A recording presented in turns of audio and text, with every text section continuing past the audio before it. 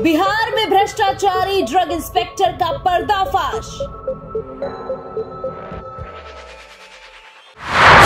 Drug inspector के पास से बरामद हुआ नोटों का जखीरा। करोड़पति निकला बिहार का ड्रग इंस्पेक्टर।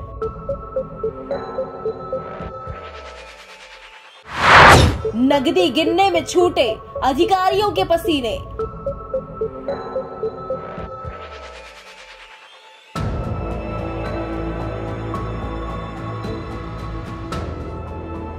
बिहार में भ्रष्ट अधिकारियों के खिलाफ विजिलेंस ब्यूरो की कार्रवाई लगातार जारी है।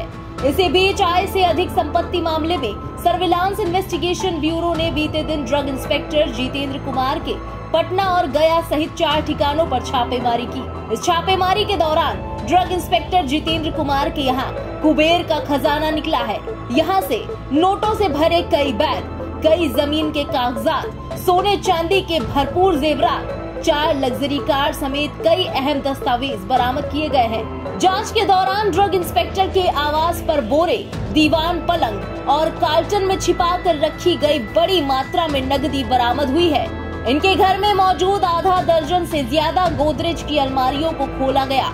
तो इनमें बड़े बड़े झोलों में 500 और 2000 के नोटों की गड्डियाँ मिली। सभी झोलों में रखे नोटों को निकालकर जब गिनने का सिलसिला शुरू हुआ तो निगरानी ब्यूरो के कर्मी परेशान हो गए। 2000 और 500 रुपए के नोटों को गिनने के लिए पहले करेंसी रीडर मशीन मंगाई गई, मगर गिनती पूरी होने से पहले ही मशीन ने दम तोड़ दिया। मदद के लिए दो बैंक कर्मियों को बुलाना पड़ा। आधी रात तक नोटों के बंडल गिने जाते रहे। वही सर्विलांस टीम को ड्रग इंस्पेक्टर की आवाज़ से चार फोर व्हीलर भी मिले हैं, जिसकी जाँच की जा रही है। छापेमारी की कार्रवाई अभी भी जारी है।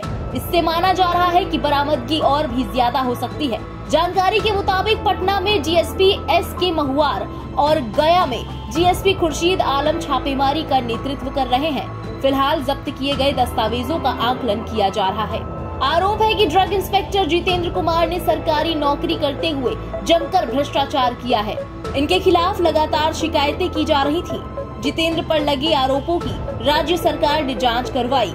जाँच सही पाए जाने के बाद से निगरानी विभाग ने इनके खिलाफ कार्रवाई की और शनिवार को एक साथ चार ठिकानों पर छापेमारी की है। फ़िलहाल ड्रग इंस्पेक्टर के और भी आवासों पर छापेमारी जारी है, लेकिन जिस तरह से अभी तक नोटों का जखीरा बरामद हुआ है, उससे तो यही कयास लगाए जा रहे हैं कि अभी भ्रष्टाचार की और भी जड़ें खुलनी बाकी हैं। इस खबर में फ़िलहाल इतना ही देश और प्रदेश की बाकी तमाम बड़ी खबरों के लिए सब्सक्राइब करें इंडिया पब्लिक खबर के यूट्यूब चैनल को और बेल आइकन दबाएँ, ताकि चैनल से जुड़ी किसी भी लेटेस्ट अपडेट से आप चूक न जाएँ।